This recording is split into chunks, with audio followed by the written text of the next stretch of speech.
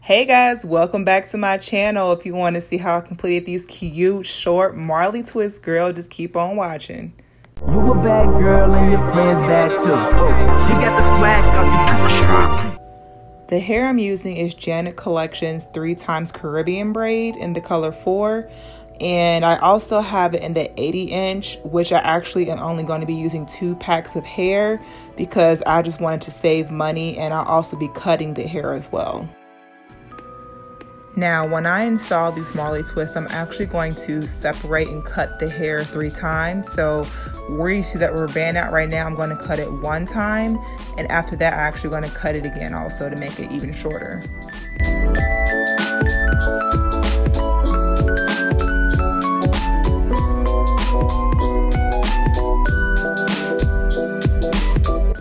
Keep my hair moisturized, I'm actually using um, a shea butter that I created myself because that's the only thing that I can actually find that actually keeps my hair moisturized. So I created my own shea butter mixed with some oils and I'll just be using that to keep, you know, moisture inside my hair. All right, let's get to start some twists. So I'm actually using three pieces of Marley hair because I want them kind of chunky. And one thing you want to make sure is to stagger the ends, you know, pull apart the hair to make it a little bit more fluffy and also stagger the ends so that way it won't be so blunt at the end when you're twisting and it won't unravel also.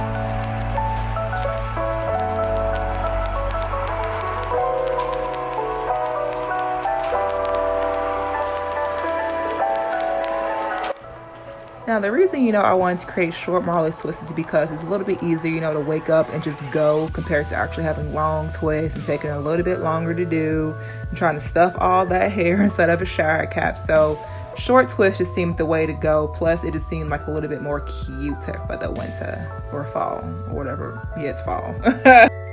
Also, I have no method to parting my hair. I just, you know, take my finger, run it across my hair and part it. I'm not really into those straight parts and triangle parts. You know, I'm just part your hair, girl, and go.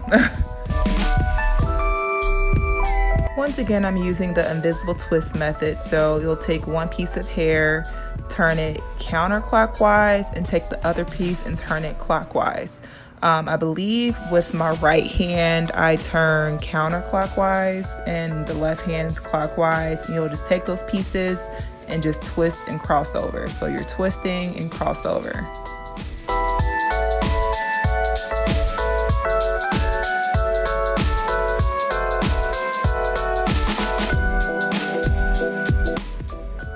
Now, one thing I noticed when it came to twisting my hair is it actually kept unraveling.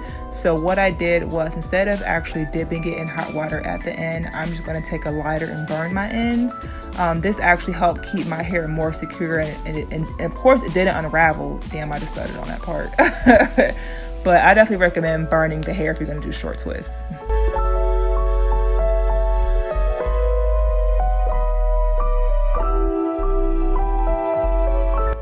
Okay, girl, I see you. These are definitely coming out cute so far. Uh,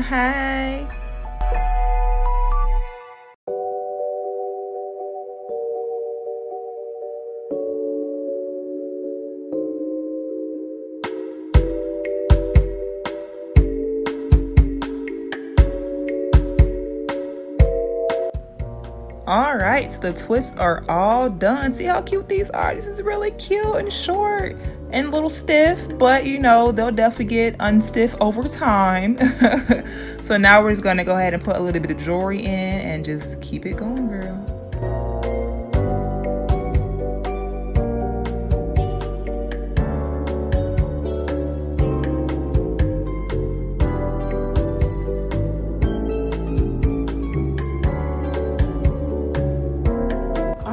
so if you love this look don't forget to give me a thumbs up and i will see you guys in my next video.